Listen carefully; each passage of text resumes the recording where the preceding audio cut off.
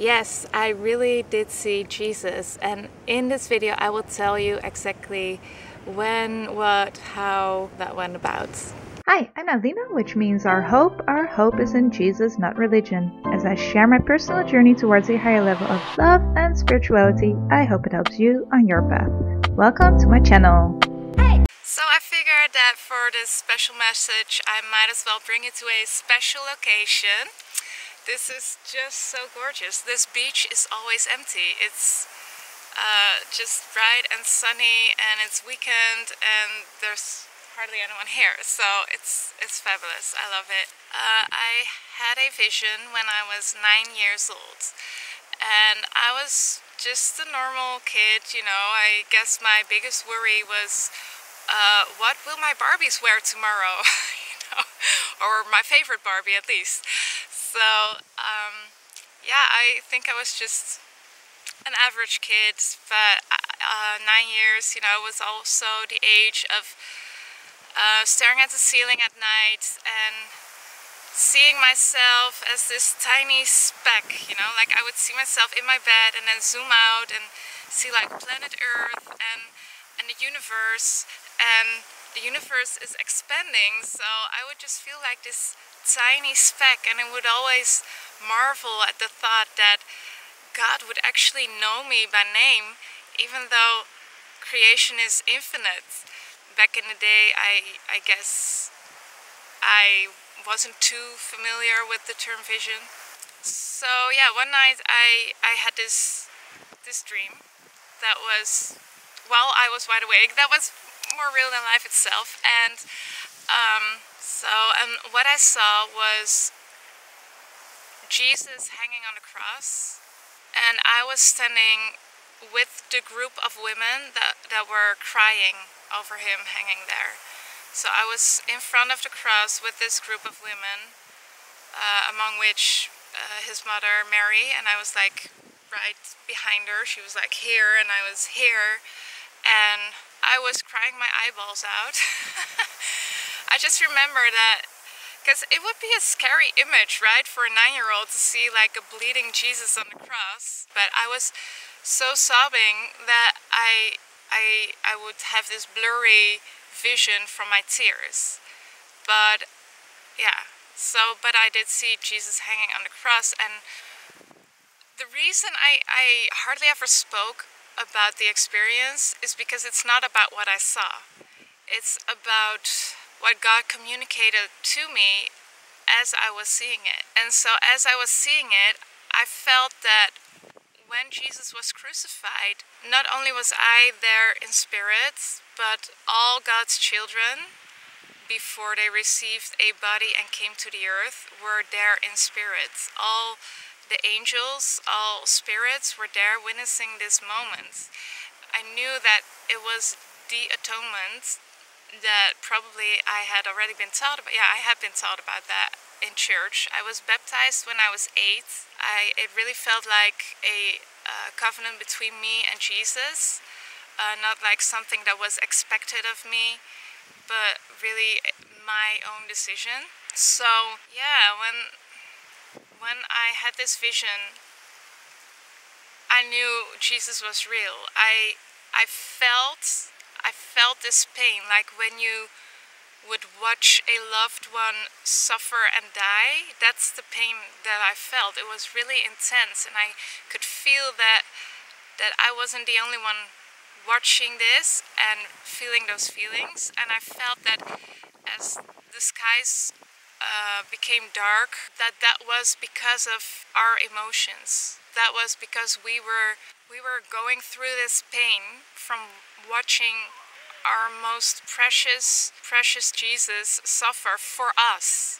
That's also something that I really fully understood in that moment is that Jesus really did suffer for our sins, but also every challenge in life that we go through uh, and every sentiment that comes with that, he felt. He really carried our burdens, and that is not something that you can really grasp. Um, from pure reason.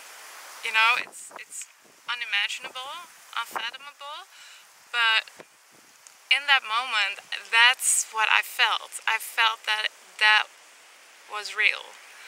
And um, as hefty as that was, uh, as, as dark as that was, those feelings were in that moment, that's how big the rejoicing was the moment after.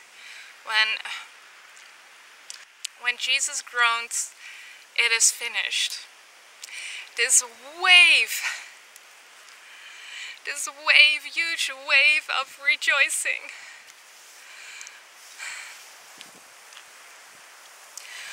went through all of us.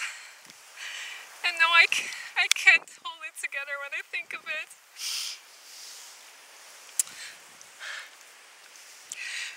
Just such a tsunami of gratitude and love is what I felt in that moment.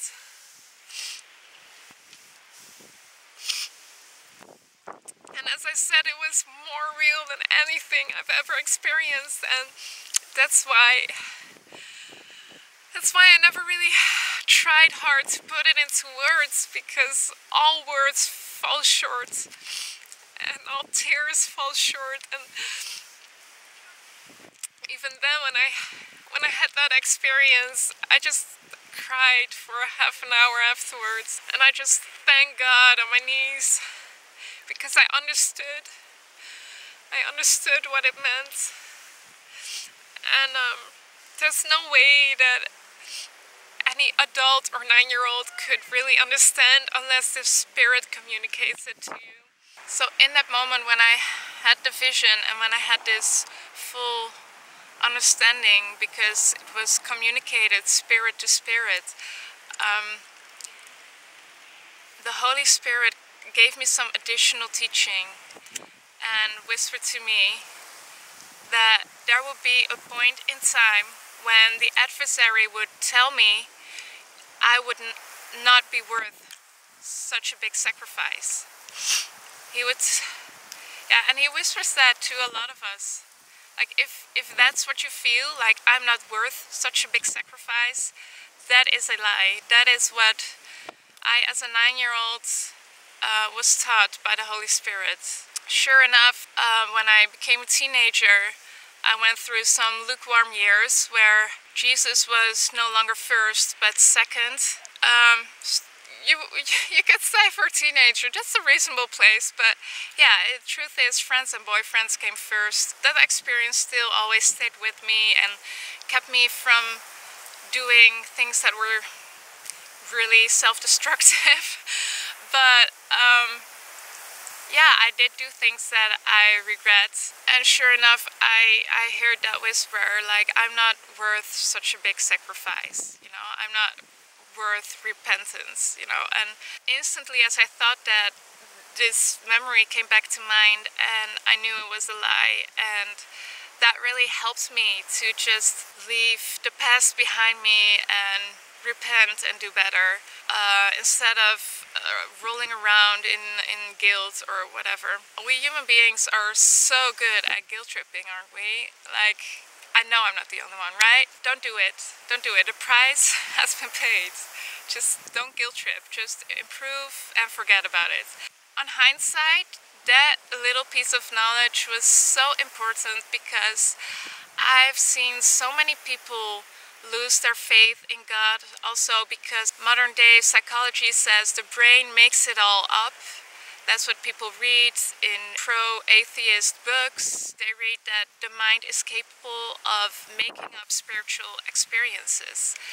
But this was a piece of knowledge that went far beyond my nine year old uh, understanding or um, the things I was thinking about at that time. And also, I never heard this being taught in church until I was 22 ish. I was a uh, youth leader, and one of the girls in my class had been to youth conference and she shared her experiences of what she had learned and she shared this exact piece of knowledge. In all those in between years, between 9 years old and 22 years old, I never heard this being taught in church because right in a moment I was like, I remember that. Like, I was taught that personally by the Holy Spirit when I was nine. And I was excited that I heard that again. Um, so maybe nowadays it's being taught more often, but back in the day, between me being nine and being 22, I, I never heard that from any human being. And so I'm really grateful for that because that tells me that my brain could not have made up that experience. And when I was nine, there was no question in my mind that I had not made that up.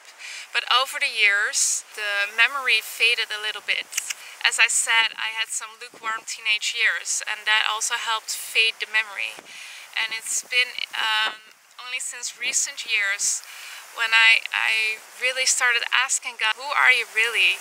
Who are you apart from the filters of human beings uh, in biblical times or 200 years ago or human beings today leave all their human influence out and, and then what's left of you? Who are you really? God really brought this memory back to its fullness and the most important part was when I was overwhelmed, overwhelmed with God's love for me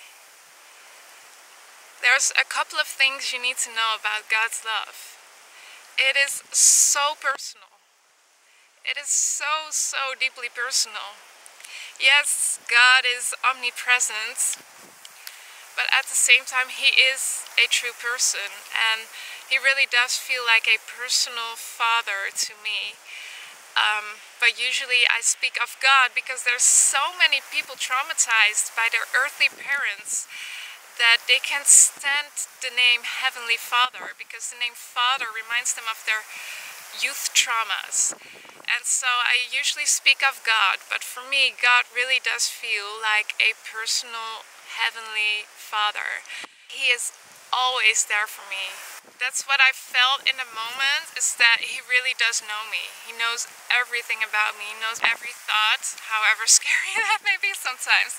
He knows my every thought and he knows my name and he knows me better than I know myself and that's why I always consult him when I have difficult decisions to make in life because very often he told me to do something contrary to what I wanted and it worked out so well and and really reinforced my trust in him that he really does know me better than I know myself. That's what I felt as I was feeling God's love is it was so intense and highly personal, but also in the same moment as I felt how personal his love was, at the same time I felt that he loved every single human being on this planet the same way, with the same intensity and the same personalness. Is that a word? I don't know.